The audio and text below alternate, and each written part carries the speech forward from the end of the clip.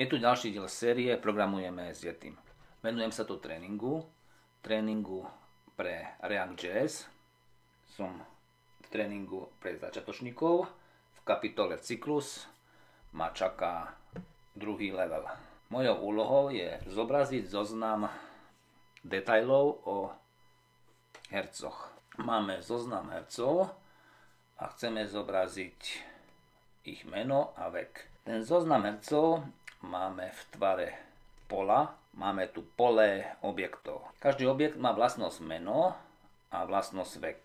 A potom máme to zobraziť v takomto tvare, že dáme meno a potom ten vek okrúhlej zátvorke. Máme tu už pripravené mapovanie. Tu miesto slova player by malo byť radšej slovo herec.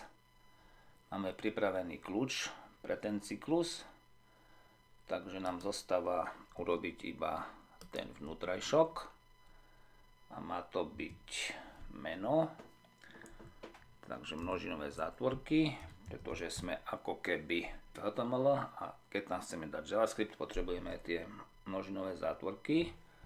Potom potrebujeme medzeru, len name by nestačilo, potrebujeme player name, keď to už tak nazvali. Potom potrebujeme okrúhlu zátvorku a v tej okrúhlej zátvorke bude vek.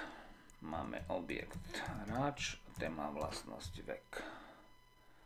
Vyskúšame si, či je to v poriadku. Test. Áno, je to v poriadku. Môžeme to odoslať.